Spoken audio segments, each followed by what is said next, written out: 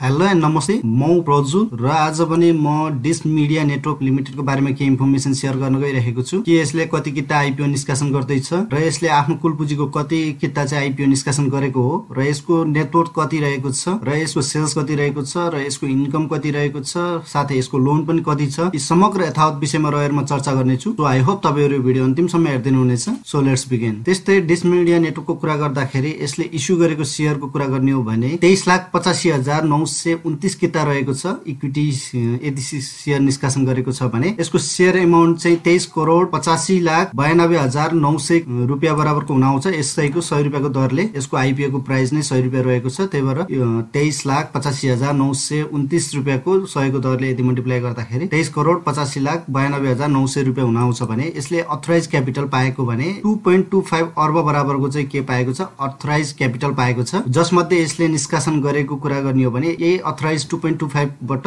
दस प्रतिशतको दरले मात्र के गरेको छ यसले आम सर्वसाधारणको लागि केहरू चाहिँ निष्कासन गरिएको छ। यसमा डेट अफ एप्लिकेसनको कुरा गर्ने हो भने यसले दुई हजार सतहत्तर तिनको महिना तिस गते भनेको असारको तिस गतेको दिन चाहिँ यसले के गरेको थियो भने नेपाल धितोपत्र बोर्डमा चाहिँ यसले आफ्नो दरखास्त दिइसकेको थियो कि म आइपिओ निष्कासन गर्न चाहन्छु यतिमा निष्कासन गर्न चाहन्छु भनेर उसले चाहिँ आवेदन दिएको थियो। यो अझै पाइपलाइनमा छ योभन्दा करिब आठ नौवटा सेयर अझै माथि छन् यसभन्दा माथि। त्यही भएर यसलाई आउन अझै एक दुई महिना करिब तिन महिनासम्म पनि लाग्न सक्ने सम्भावना देखेको छु मैले। किनभने अब सबै कुरा प्रोसेस हुँदै गर्दाखेरि अब दुई तिन महिना अझै थप यसको लम्बिने सम्भावना बढी देखेको छु। त्यही पनि जोस् अब आयो भने यसले निष्कासन गर्ने भनेको चाहिँ त्यही तेइस लाख पचासी हजार नौ सय उन्तिस किता सेयर चाहिँ हो।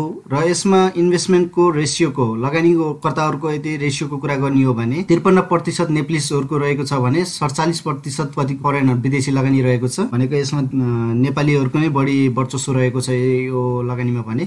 विदेशीहरूको पनि सडचालिस प्रतिशत चाहिँ लगानी रहेको छ त्यस्तै थप कुरा गर्दाखेरि मार्केट सेयरको कुरा गर्ने हो भने यसले पैँतिस प्रतिशत हाम्रो नेपाल बजारमा नेपालको पुरा बजारमा चाहिँ यसले पैँतिस प्रतिशत बराबरको के गरेको छ मार्केट सेयर ओगटेको छ। यो धेरै राम्रो हो किनभने कुनै पनि कम्पनीले जति धेरै मार्केट सेयर ओगट्न सक्यो त्यस कम्पनीको त्यति धेरै नै मोनोपोली बढ्ने हुन्छ। र रेटिङको हिसाबले हेर्ने हो भने केयर रेटिङ नेपाल लिमिटेडले यसलाई बिबिबी प्लस त्रिबल बी पोजिटिभको सिग्नल दिएको छ। यो भनेको धेरै राम्रो सिग्नल हो। अब यिनीहरूकै भाषामा यदि भनियो भने यो सिग्नलले कस्तो दर्शाउँछ भने ability of the company to manage the growth and maintain profitability भनेको चाहिँ ग्रोथ र प्रोफिटेबिलिटी म्यानेज गर्न यो कम्पनी सक्षम छ रहेको छ यो रेटिङको हिसाबले चाहिँ दर्शाउँछ। र रेटिङ पनि हेर्नुपर्ने हुन्छ किनभने रेटिङले नै धेरै कुरा चाहिँ एउटा सर्ट फर्ममा चाहिँ हामीलाई बुझ्न र त्यो कम्पनीको एउटा आकलन गर्न चाहिँ धेरै ठुलो चाहिँ भूमिका खेल्ने गर्दछ। त्यही भएर यसको रेटिङको हिसाबले कुरा गर्ने भने त्रिपल बी पोजिटिभ पाएको छ भने एक्टिभ कस्टमरको कुरा गर्ने भने one point one three million रहेको छ मिड अफ अप्रिल दुई हजार ट्वेन्टी ट्वेन्टीको मिडमा चाहिँ one point one three million भनेको तेह्र लाख यसको एक्टिभ एक्टिभ कस्टमरहरू रहेको छन् भने यो अब राम्रै हो। करिब तेह्र लाख यसको चाहिँ कस्टमरहरू हुनु भनेको। र नम्बर अफ डिलर यो पुरा नेपालको सन्दर्भमा यसको पचासीवटा डिलर रहेको छ। अब सतहत्तरै जिल्ला अन्तर्गत रहेर यो चाहिँ पचासीवटा डिलर रहेको छ भने सब डिलरको कुरा गर्दाखेरि पैँतिस सय सब डिलरहरू रहेको छन् भने सर्भिस फ्रेन्चाइजीहरू चाहिँ सानो सानो चाहिँ खुद्रा जसले यसको प्रडक्टहरू चाहिँ बेच्छन् भने तिनीहरू चाहिँ तेह्र सय भन्दा बढी पसलहरू अब सानो सानो फ्रेन्चाइजीहरू रहेको छन् जहाँ चाहिँ डिसोनको पार्ट पूर्जाहरू डिसोडको सर्भिसहरू चाहिँ पाउने गर्दछन्। यो चाहिँ पैँतिस तेह्र सय प्लस रहेको छन् तर सब डिलर डिलर पछिको तलको चाहिँ कुरा गर्ने भने पैँतिस सय रहेको छन् र डिलरै भन्ने हो भने चाहिँ पचासीवटा डिलर रहेको छन्। त्यस्तै ग्रोथ विथ सब्सक्राइबरको यसको कतिको हिसाब रेटमा ग्रोथ गरिरहेको छ भन्ने कुरा गर्ने भने फिक्सल इयर दुई हजार अठारको कुरा गर्दाखेरि यसको एक्टिभ सब्सक्राइबर के भएको छ भने साठी प्रतिशतको दरले वृद्धि भएको छ। यो दुई हजारको तथ्याङ्क हो जुन यसको जति पनि थिए पहिले त्यसमा साठी गुणाको दरले चाहिँ यसको ग्रोथ भएको छ यो धेरै राम्रो जति धेरै ग्रोथ रेट हुन्छ सब्सक्राइबर बढ्छ त्यति धेरै नै यो कम्पनीलाई चाहिँ राम्रो हुने हुन्छ। किनभने इभेन्चुअली कुनै पनि यो कम्पनीको जति पनि इन्कमको रेट केमा डिपेन्ड भएको हुन्छ सब्सक्राइबर बेसमा नै। किनभने यसको इन्कम भनेको सब्सक्राइबरको आधारमा नै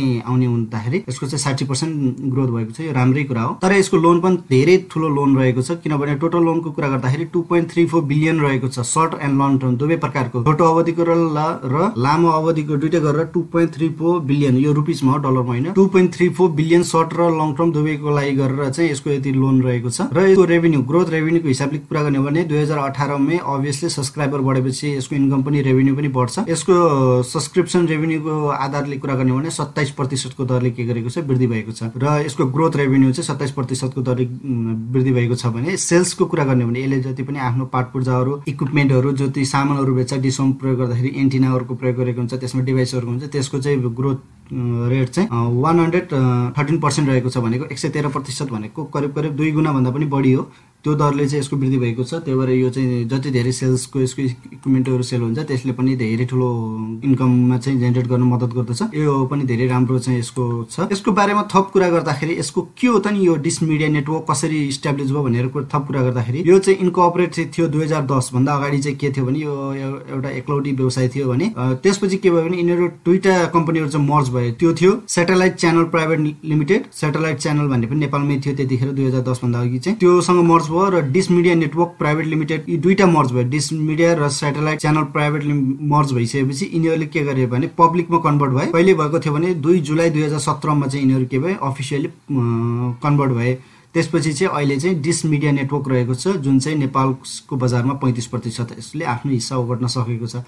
त्यस्तै यसको आम्दानीको कुरा गर्ने हो भने इन्कमको कुरा गर्दाखेरि यसको फिक्सल इयर दुई हजार सोह्र सत्र र अठार किनभने यसले उन्नाइसको अन्तिम अन्तिममा चाहिँ यसले के गरेको थियो भने आफ्नो दुई हजार ट्वेन्टीमा गर्दै गर्दा पनि यसले आफ्नो डाटा चाहिँ अठारसम्मको लागि लिएर आएको थियो। जसमध्ये चाहिँ अब सबैमा चाहिँ ग्रोथ रहन्छ अठार सय सात सत्ताइस सय चार उन्चालिस सय पचास यो चाहिँ मिलियनमा हो। मिलियनमा कुरा गर्दाखेरि चाहिँ यो राम्रो छ किनभने यसको ग्रोथ सोह्र सत्र र अठारको तुलनामा बढ्दो क्रममा रहेको छ। यो जति इन्कम बढ्दै जान्छ त्यति नै धेरै राम्रो हुन्छ। सो यही नै थियो यो डिस मिडिया नेटवर्कको बारेमा। र यसको कहिले आउँछ भन्ने कुरा चाहिँ एकिन अब लाग्छ होला। एक दुई महिना अझै यसको टाइम लाग्ने सम्भावना त्यतिकै देखेको छु। र यो आइसकेपछि यसले अहिलेसम्म आफ्नो चाहिँ फुल्ली डिटेल त्यहाँदेखि यता चाहिँ यसले आफ्नो अडिट रिपोर्ट पनि सार्वजनिक गरेको छैन किनभने यो जब एसबिएनमा यसले चाहिँ फुल्ली सब्सक्रिप हुन्छ त्यसपछि यसले आफ्नो चाहिँ अडिट रिपोर्ट चाहिँ आफ्नो प्रतिवेदन चाहिँ सार्वजनिक गर्छ। त्यो गर्दाखेरि म यसको मार्केट प्राइसको कति रहेको छ earning per share network per share कति रहेको छ र यो दोस्रो बजारमा आउँदा कति हुन्छ भन्ने विषयमा रहेर म फेरि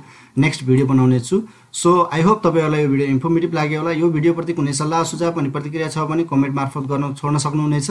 साथै यस च्यानलमा नयाँ हुनुहुन्छ भने यस channel like share and subscribe अवश्य गर्नुहोला। हस् त धन्यवाद bye bye and have a good day